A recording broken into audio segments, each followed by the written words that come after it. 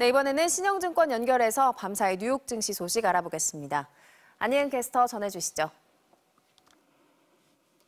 네, 신영증권입니다. 네, 기준금리를 한 번에 0.5%포인트 내리는 빅컷이 단행됐음에도 뉴욕 증시는 약세로 마감됐습니다. 네, 다우지수와 S&P 500지수는 각각 0.2% 내렸고 나스닥 지수는 0.3% 하락했는데요.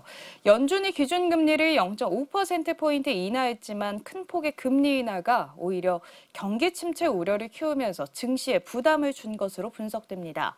제롬 파월 연준 의장은 기자회견에 서 이번 금리 인하가 경기 침체가 임박했다는 신호를 읽히지 않도록 발언에 신중한 모습을 보였는데요.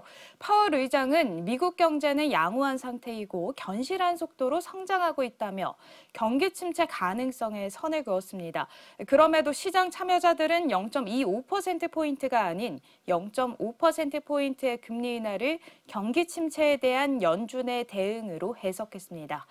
종목별로 살펴보면 주요 기술주 들 가운데 애플만 1.8% 올랐습니다. 엔비디아가 1.9% 내렸고 아마존과 테슬라도 각각 0.2% 하락했습니다.